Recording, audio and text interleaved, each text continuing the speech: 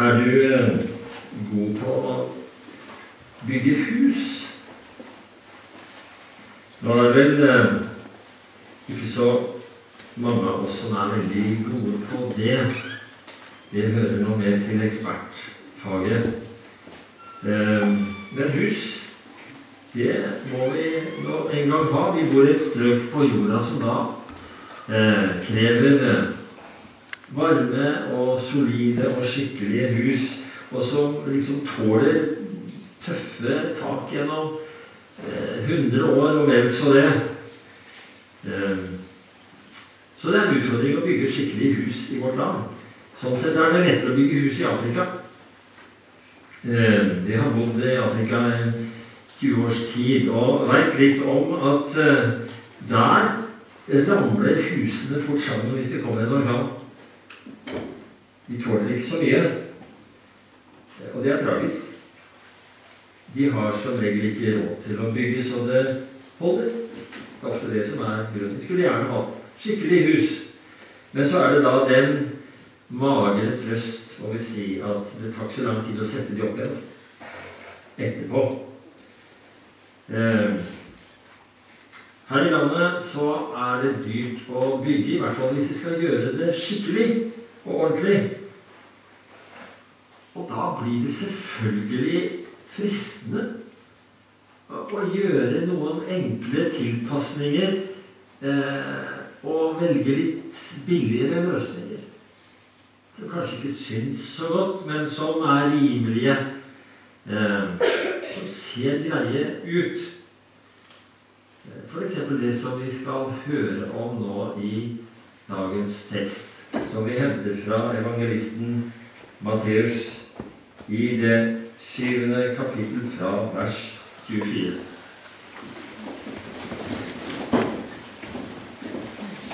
I Jesu navn. Derfor, vær den som hører disse mine ord, og gjør etter dem. Han blir lik en forstandig mann som bygde huset sitt på fjellgrunn. Og regnet skylte ned, og flommen kom, og vindene blåste og kastet seg mot dette huset, men det falt ikke, for det var grunnlagt på fjell. Men den som hører mine ord og ikke gjør etter dem, han blir lik en uforstandig mann som bygde huset sitt på sand. Regnet skylte ned, og flommene kom, og vindene blåste og kastet seg mot dette huset. Og det falt, og fallet var stort. Og det skjedde da Jesus hadde endt denne talen. Da var folket slått med undring over hans lære. Kjære himmelske Far. Vi takker deg fordi vi får møte deg i ditt ord til tro og til liv. Og vi ber deg, Herre, åpne ditt ord for oss nå ved din gode Hellige Ånd. Åpne våre hjerter, våre øyne, våre ører, ja, vårt liv, så vi kan ta imot ditt ord, ta det til oss. La det få vokse i hjertet og ut i livet. Det ber vi i Jesu navn. Amen.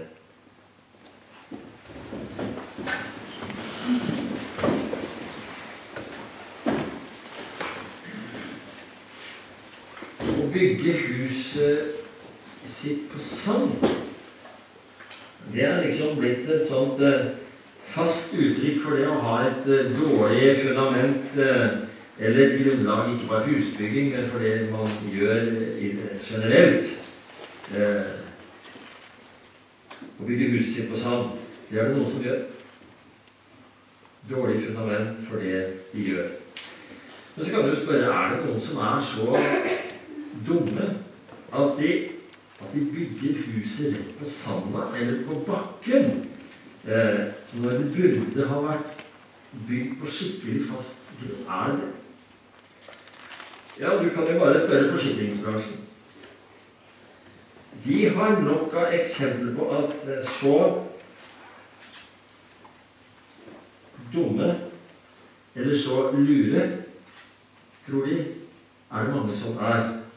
Eh, om det da kanskje ikke blir satt rett på, på sandbakken eller, eh, eller på jordbakken, så gjøres det ofte et veldig dårlig grunnarbeid som vel å merke ser helt greit ut. Ingenting å si på utseendet og inntrykket. Og så liksom håper de nesten.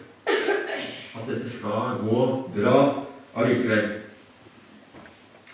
Men så går det som det må veldig ofte, veit vi. Det sprekker opp, eller det siger sammen i et hjørne eh, fordi de tåler ikke en påkjenning. Og det tåler ikke tida. Dårlig grunnarbeid og store erstatningssaker. Vi kjenner til. Jevnlig leser vi om det i media.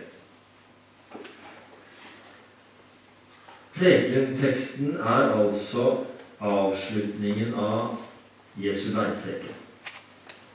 Og snakker, Jesus snakker nå til eh, disiplene og til en stor folkemengde som hører på. Og så sier Jesus, Hva er det som hører disse mine ord, og gjør etter dem? Han er som en sånn klok mann som bygger sitt hus på fast grunn, på fjell. Disse mine ord, sier altså Jesus, det er altså de ordene han nettopp har sagt og undervist. Og vi her i dag. Og jeg tror vi har et felles ønske, alle sammen. Og det er jeg ønsker å bygge mitt liv på fast grunn. På en rett grunn. På en skikkelig, på en bunnsolid fundament. Det, det er ingen av oss som ikke ønsker det. Ja, hvordan gjør vi det? Jo, ved at vi bygger på de ordene Jesus har sagt. De ordene Jesus sier. Hva mener han med det? Jo, han mener at de ordene som vi hører, disse ord som jeg nå har sagt, og gjør etter dem, de bygger på fjell, sier Jesus. Altså ikke bare liksom en tilslutning, en sympatierklæring, at man er åpen for, har en positiv holdning til osv. Men at man hører og gjør etter det ordene sier. Sier Jesus. Og da er spørsmålet Gjør du det? Når du tenker etter i ditt liv, gjør du det? Er du ikke bare hørende som virkelig gjør etter det Jesus sier? Ikke sier Jesus at det skal vi gjøre. Da bygger vi på fast grunn. Ja, hvilke ord er det Jesus sier da? Ja, da tenker vi nok veldig fort på det samlede bibelske budskap. Som vi ikke bare skal høre, men vi skal gjøre etter. Hvor viktig det er, ikke minst i, i vår tid med, hele samlivsdebatten og likekjønn og ekteskap osv. Eh, vi skal ikke bare høre, men vi skal gjøre etter det Bibelen viser og sier og peker på. Det vet vi er livsviktig. Helt avgjørende for mitt trosliv, for forsamlingens og menighetens liv, for kirkens sanne liv. Men så vet vi det er flere Jesu ord enn bare det som handler om samliv. Selvfølgelig er det det. F.eks. det ordet som, fra Jesus som sier at den som blir sint på sin bror, være skyldig for domstolen. Eller Jesu ord om at hvis du har noe uoppgjort med din bror Har noen av oss det? Uoppgjort med din bror. Så skal du vente med alt annet, og skal du gå og forlike deg med din bror. Før du bringer ditt offer til Herren. Å forlike seg med sin bror, det kan være krevende. Men det er det Jesus sier. Eller ordet om begjær. At den som ser på en kvinne for å begjære henne, eller tilsvarende for kvinner, det går begge veier, har allerede begått ekteskapsbrudd. Treffer det deg? Treffer det deg? Eller ordet om at du skal elske de som ikke liker deg. Eller som du kanskje ikke liker. Har du noen du ikke liker? Ja, hva menes nå med det? Ja, vi skal, Det trenger vi ikke å tenke så veldig mye på, fordi Jesus sier vi skal elske gjennom våre fiender. Har vi noen fiender? Det er den eneste religion, trosretning, som går så langt i relasjonen til sin neste at vi skal elske våre fiender. Det finner du ikke i islam. Det finner du ikke i buddhisme eller hinduisme.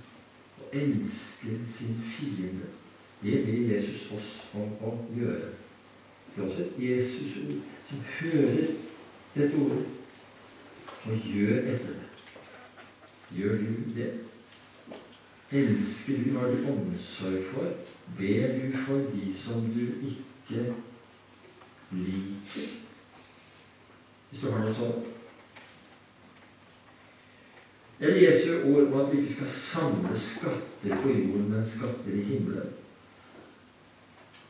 Hvordan er det med deg der? Hvordan passer det ordet inn i ditt liv?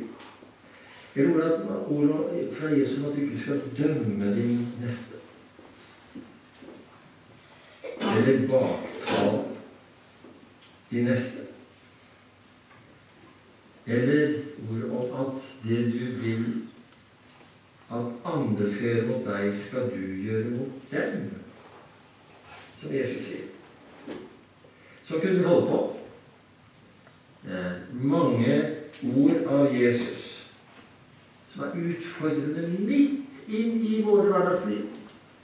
Midt inn i kjernen av det som er meg og oss, og det vi støter på og har av utfordringer.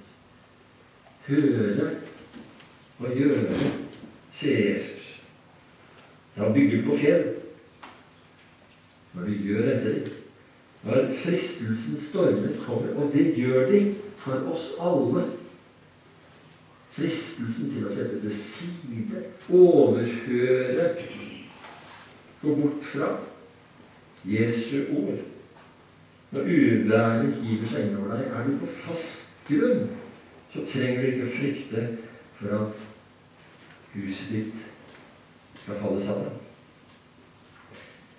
Ja, vi sitter og hører på dette. Og vi tenker og kjenner dypt inne i oss det jeg sitter. Ja, dette er den gode vei. Dette er den sanne og rette Guds vei for meg og mitt liv. I forhold til Gud. I takk og tilbedelse. Og i forholdet til min neste i tjeneste, i omsorg, i kjærlighet. Overfor de i familien som kanskje det er den største utfordring å, å leve rett overfor de nærmeste. de vi elsker aller mest og setter aller høyest, og som det kanskje er aller størst utfordring iblant å leve rett overfor. De andre i forsamlingen, på bedehuset, i menigheten, som kan være en velsignelse, som er det, og som iblant kan være en stor utfordring for meg, for mitt kjød, for min måte å tenke på. Disse ordene fra Jesus, å bygge på dem, ha det som fundament, det er veien han peker på. Og vi sier amen. Ja, sant og rett er det. Takk, Herre Jesus. Takk, Jesus, at du viser oss den gode vei. Enda så vanskelig det er iblant å leve etter det. Å gjøre det, og ikke bare gjøre det. Så må jeg jo si, da, at er det noen gang jeg får så bruk for Guds nåde og tilgivelse, ja, så er det i møte med disse Jesu ord, enten det er i bergprekenen eller de andre. Bare dette ordet med å ikke dømme andre.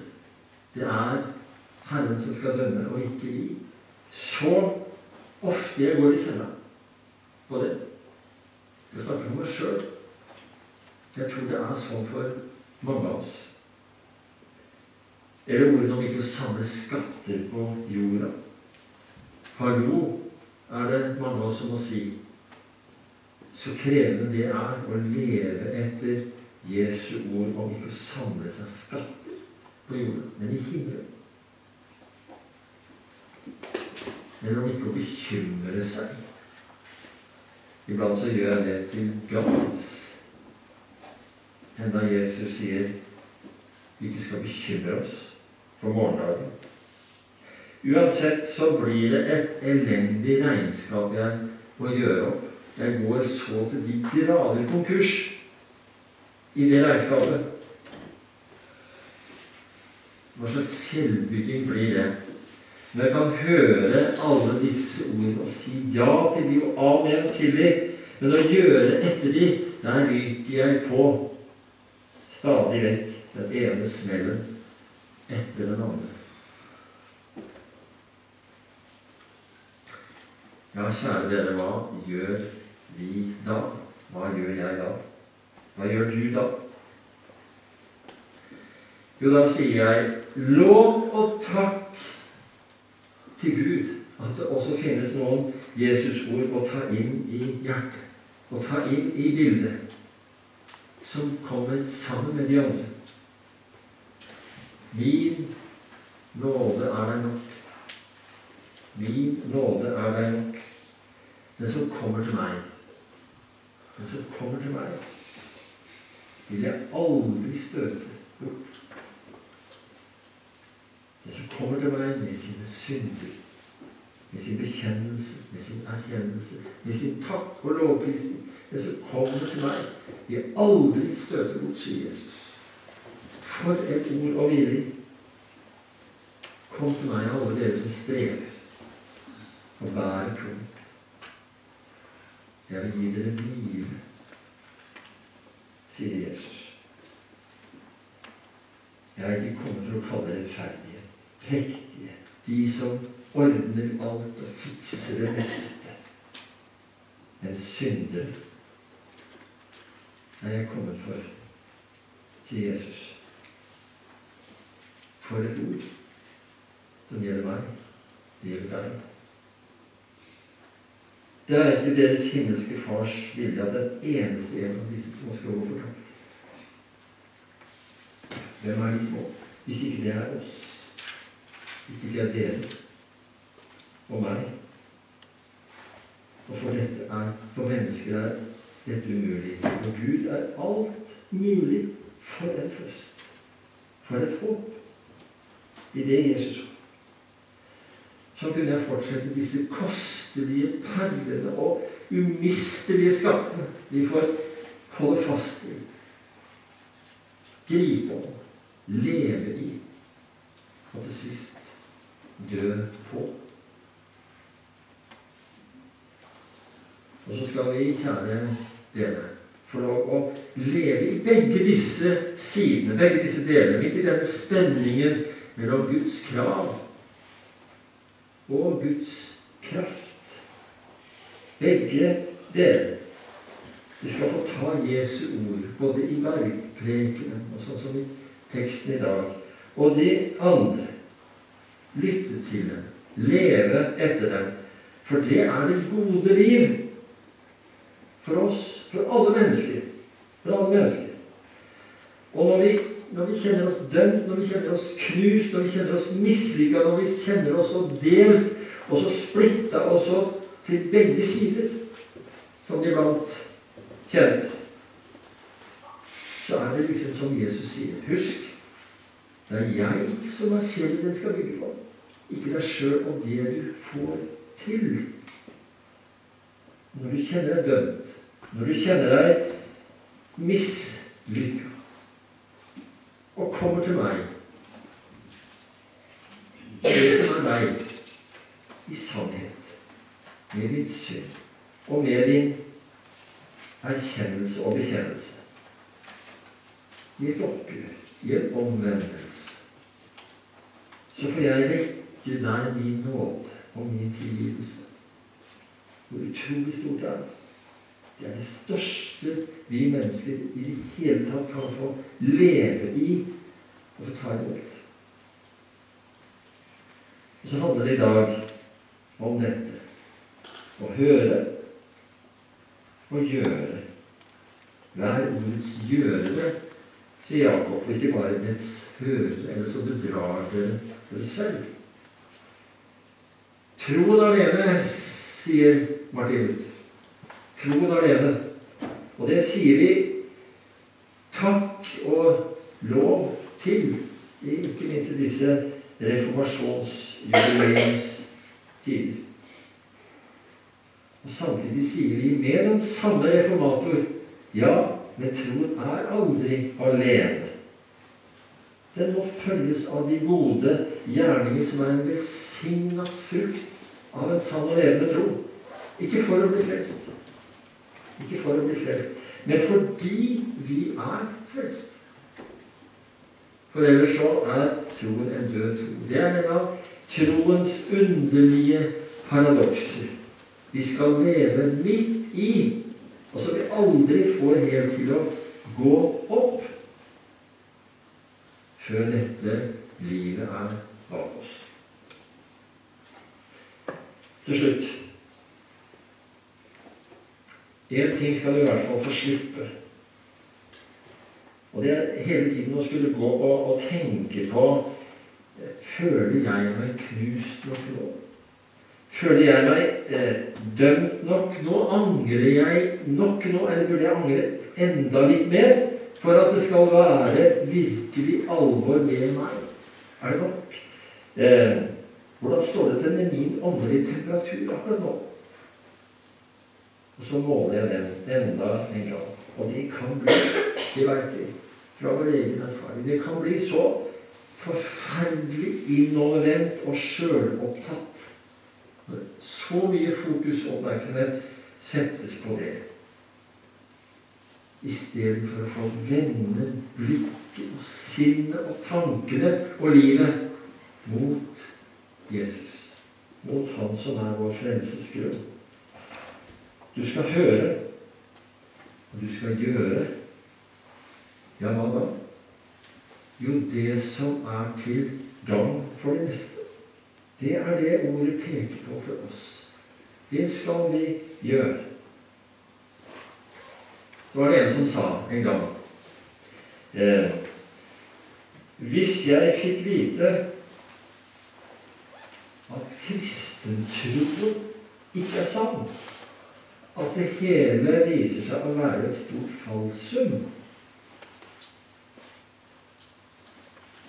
ja, så har jeg allikevel fått hjelp av Jesu ord til å bety noe for et annet menneske. Eller for noen andre mennesker. Eller kanskje for mange. I et liv fylt av omsorg og kjærlighet for noen som trengte det. For det skyver ordet meg ut i hele tiden. At det ikke bare skal være innkrøkt i meg selv og min egen prektighet eller min egen elendighet, men ut mot min neste. I omsorg, i kjærlighet. Vi skal elske Gud. Vi skal elske vår neste. Som oss selv. Og da skjønner vi jo alle sammen at da blir det snakk om skikkelig kjærlighet, for vi er veldig opptatt av oss sjøl. Og hvis vi tilsvarende kan elske vår neste, ja, så betyr det litt for vår neste. altså. Da blir det nå snakk om. For kristentro, det er sagt på en måte, sagt på spissen, det er ikke feel good, som er vår tids store uttrykk. Det er ikke feel good. Det er sånn sett do good og gjøre etter. Og hva er min neste i aller største behov for? Hva er det han trenger aller mest? Hva er det? Jo, det er jo det som jeg sjøl er fullstendig avhengig av. Guds bunnløse nåde. Guds kjærlighet i Jesus Kristus. Det Jesus har gjort for meg. Da han tok vekk min syndebyrde gjennom sin død og gjennom sin oppstandelse. Det er jeg fullstendig avhengig av. Det er det jeg trenger, og det er det min neste til sist trenger mer enn noe annet. Og det livet, kjære dere, som jeg lever i troen på Guds sønn, det er et liv, som vi sier, det er et liv verdt å leve. Og det er et liv verdt å dele med andre. Og så kan altså denne teksten om å bygge på den rette grunn summeres egentlig opp i det flotte verset som Paul Gerhard har skrevet, og som du sikkert uh, kjenner. Den grunn hvorpå jeg bygger, er Kristus og hans død. I Kristi korsets skygger forsvinner all min nød. Noen av dere kan si ja, sånn er det. Sånn er det. Der har jeg funnet livet. Selv er jeg intet verdt. Hva Jesus meg har givet, gjør meg for Gud så kjær. Ære være Faderen og Sønnen og Den hellige ånd, som var, er og være skal, en sann Gud, fra evighet og til evighet. Amen.